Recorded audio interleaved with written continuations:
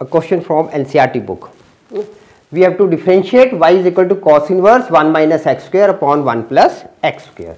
Now, for the solution part, what we are going to substitute first in place of x something. Okay.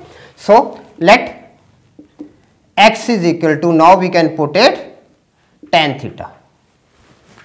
Okay. So, what we are getting now?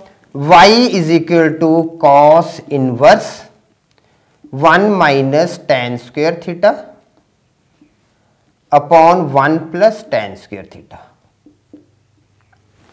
Now what the formula is? What the formula was?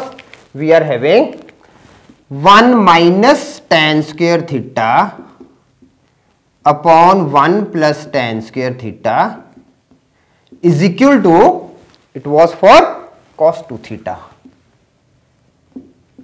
cos 2 theta okay so substituting this. Now cos 2 theta what we are having?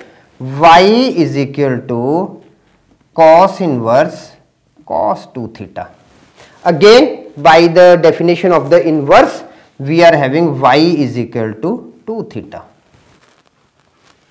Okay now Converting in the, I can just write it here also. Cos inverse cos theta is equal to theta.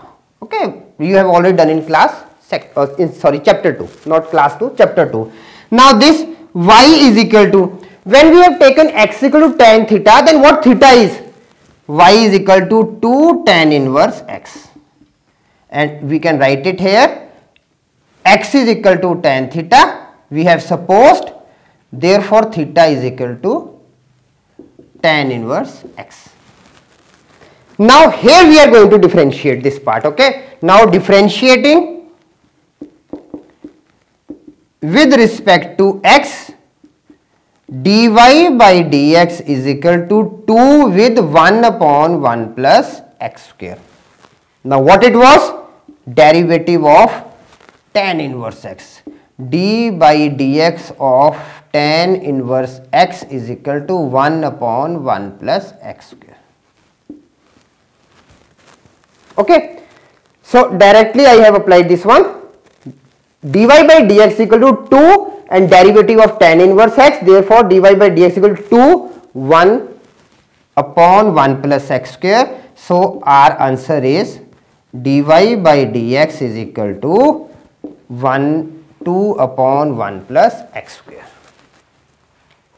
Simple questions.